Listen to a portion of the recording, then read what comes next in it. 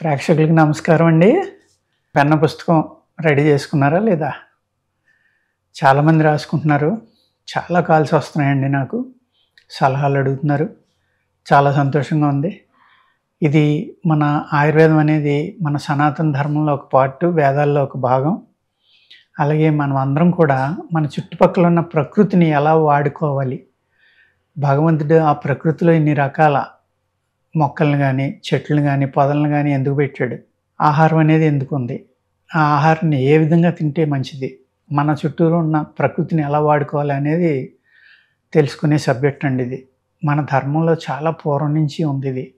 మన దేశంలో చిన్న చిన్న ప్రాబ్లమ్స్ కూడా మనం హాస్పిటల్స్కి వెళ్ళక్కర్లేకుండా ఫస్ట్నే అంటే ప్రాబ్లం వచ్చాక మనం వైద్యం చేయించుకోవడం ఇబ్బంది పడటం కాదండి. మన లైఫ్ స్టైల్ ఎలా మార్చుకోవాలి? మన జీవన విధానం ఎలా ఉండాలి? మనం ఏ జాగ్రత్తలు తీసుకుంటే ఆరోగ్యంగా ఉంటామని చెప్పేది ఆయుర్వేదం అండి. మన ఆహారం కూడా పూర్తిగా ఆయుర్వేదమేనండి.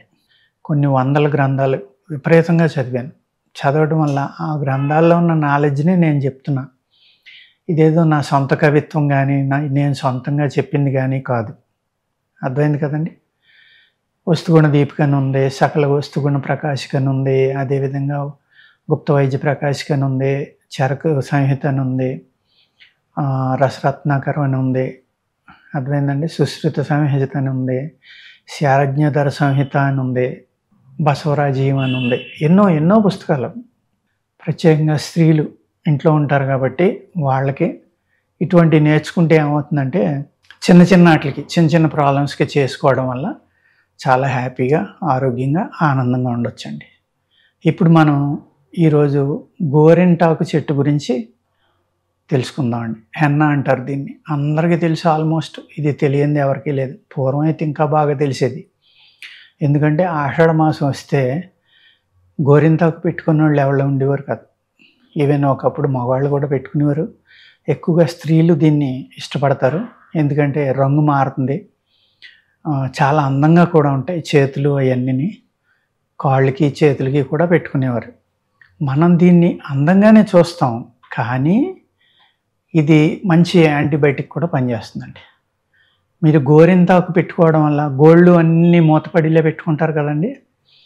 ఈ గోరుల్లో ఉన్న అనేక రకాలైన ఫంగస్లు వైరస్లు క్రిములు ఇవన్నీ కూడా చనిపోతాయండి గోరింతాకు పెట్టుకోవడం వల్ల. అర్థమైందండి? ఇది ఓన్లీ అందం కోసమే పెట్టుకుంటున్నామని అనుకోవద్దు మీరు. సంవత్సరానికి వీలైతే కనీసం ఒక ఐదు నుంచి పది సార్లు పెట్టుకోండి ఏమి నష్టం లేదు. చాలా అద్భుతమైన ఆరోగ్యాన్ని మీ గోర్లకి ఇస్తుంది. న్యాచురల్ కలర్ మీరు నెయిల్ పాలిష్లో అయ్యే కెమికల్స్ కలిపినవి వేసుకునే బదులు ఇది ప్రకృతి సహజంగా ప్రకృతి సిద్ధంగా వచ్చిన చక్కని రంగు లక్క రంగు ఉంటుంది. చాలా అందంగా ఉంటుంది. స్త్రీలు ఇది పెట్టుకుంటే అనేక రకాలుగా పెట్టుకుంటున్నారు ఇప్పుడు. ప్రత్యేకంగా దీనికి ఒకరోజు పెళ్ళిళ్ళకి ముందర కూడా ఈ గోరింతాకు పెట్టించుకోవడానికి ఒక పండగలాగా చేసుకుంటున్నారు. ఈ గోరింతాకు అనేది ఈ విధంగా ఉంటుందండి చెట్టుని మీకు చూపిస్తున్నాను. ఇది విత్తనాలు పువ్వులతోటి కూడి ఉంది చూడండి. పువ్వులు చూడండి ఎలా ఉన్నాయో. తెల్లగా ఉన్నాయి. ఇందులో పింక్ పువ్వులు కూడా ఉంటాయండి. అర్థమైందండి? ఈ గోరింతలో రెండు రంగులు చూశాను నేను. ఇది తెల్లని పువ్వులు పూసింది. పింక్ పువ్వులు కూడా ఉంటాయి. అర్థమైందండి? కాయలు ఇలా ఉంటాయి. ఆకులు ఇలా ఉంటాయి.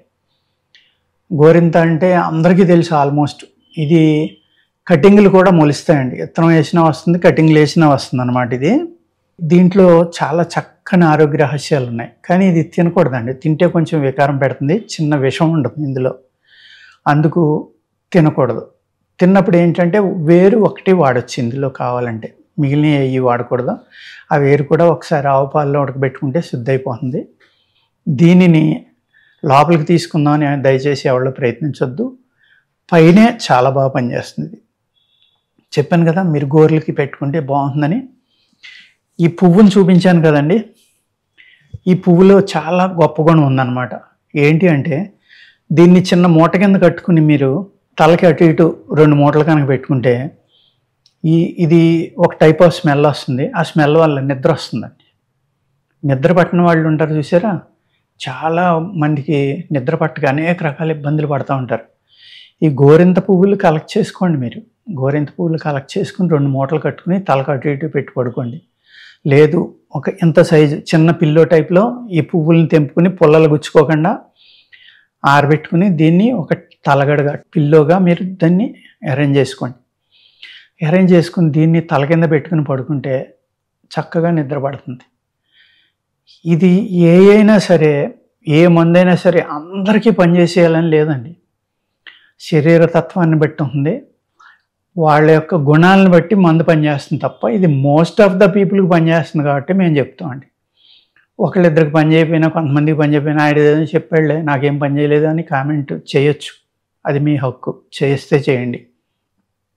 ఏ మందైనా కూడా ఒక అమృతమైనా కూడా అందరికీ పనిచేయదండి.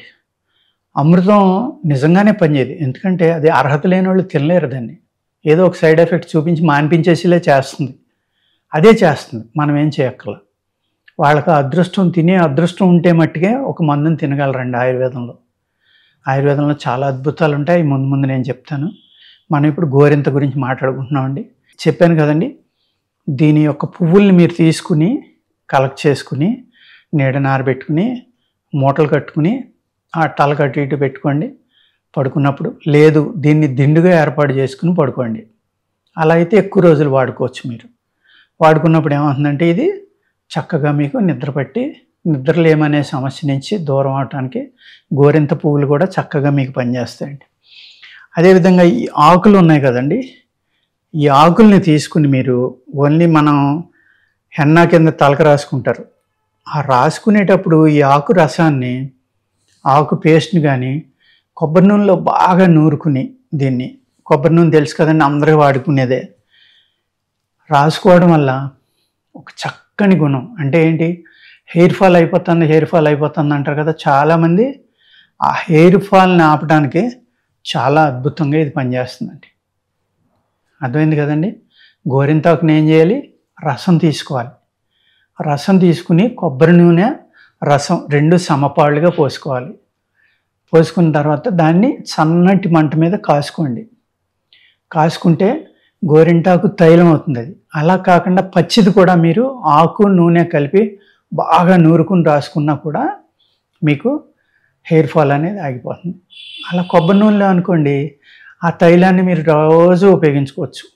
ఎందుకంటే ఆకు దొరికినప్పుడు మీరు ఈ మందు చేసుకుంటే రోజు ఆక్కు ఎక్కలేదు రోజు నూరుకు ఎక్కలేదు ఇబ్బంది పడతారు కదా చాలామంది డైలీ ఎక్కడ రాసుకుంటాం అని.